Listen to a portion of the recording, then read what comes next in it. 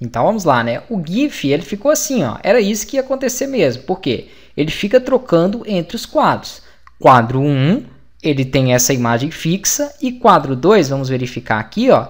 Ele, aliás, quadro 1 só tem essa imagem, quadro 2 ele mantém ela e tem essa outra, essa segunda. Então é como se essa aqui ficasse o tempo todo acontecendo isso aqui, ó ele ficasse passando entre uma e outra. Claro que se eu quisesse um tempo maior, isso vocês vão ver nas, nas aulas que nós vamos começar já em breve sobre linha do tempo, eu poderia ter colocado uma distância maior. Então, no quadro 1, essa imagem, depois demorava um tempinho bom, ele aparecesse, por exemplo, no quadro 10 aqui, depois eu colocasse mais um pouco vazio para voltar no quadro 1. Então, essa parte, tudo isso vocês vão aprender né, nas aulas de linha do tempo. Era só para mostrar mesmo a questão da exportação ali. Agora, vamos fazer uma outra coisa que é o seguinte, eu quero explicar um pouco mais, porque se você for vetorizar, vocês vão precisar de mais informações sobre essas ferramentas aqui de formas, que são as ferramentas de caneta, né, de ponto de ancoragem, etc. Então, para ficar mais claras, para que vocês consigam entender bem aí essas ferramentas, eu vou fazer uma outra vetorização aqui. Então, vou vir com o botão direito,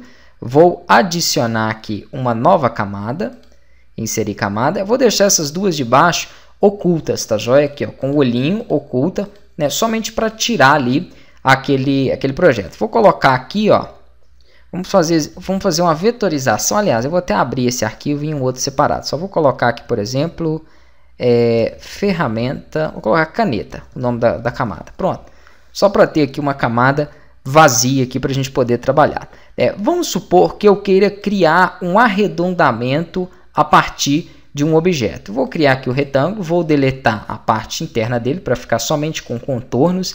E aqui dentro dessas linhas eu posso trabalhar esses pontos de ancoragem e manipular esses pontos. Eu vou pegar aqui então a ferramenta caneta, como vocês viram, e com a ferramenta caneta eu consigo também desenhar linhas. Ó. Eu clico, né, onde eu for clicando ele vai me dar essa linha. Se eu precisar de aplicar uma curva, eu clico, seguro e aí eu posiciono para baixo ou para cima que ele vai me dar ali aquela curvatura desejada. Então, com essa ferramenta, além de conseguir adicionar pontos em um objeto que já é, exista, que já seja pronto, eu consigo criar aqui também né, outros objetos. Como eu tinha falado, eu posso clicar aqui sobre esse objeto que já existe ó, e adicionar um outro ponto ali. Perfeito?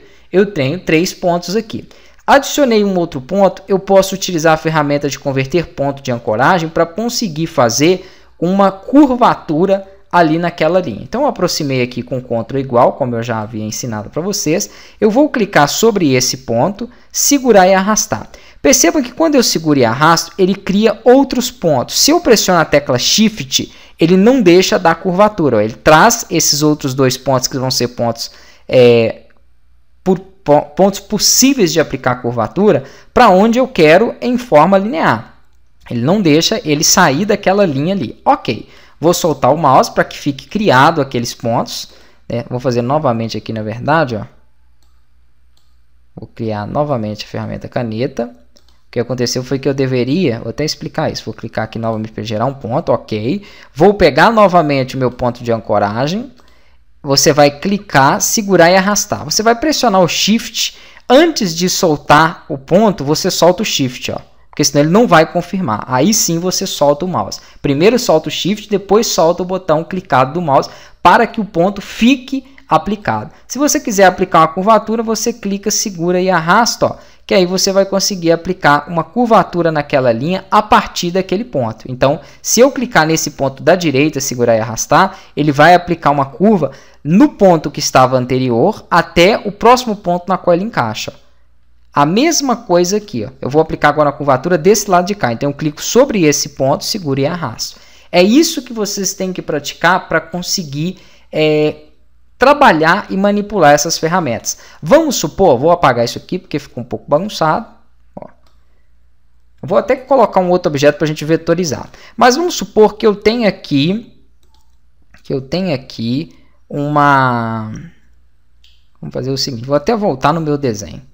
Vamos fazer essa boca a partir de um retângulo. Acho que assim fica um pouco mais fácil de vocês entenderem né, o que eu quero explicar com essa ferramenta de caneta. Então, vou fazer na próxima aula ela a partir do retângulo, utilizando essas duas ferramentas que eu mostrei ali.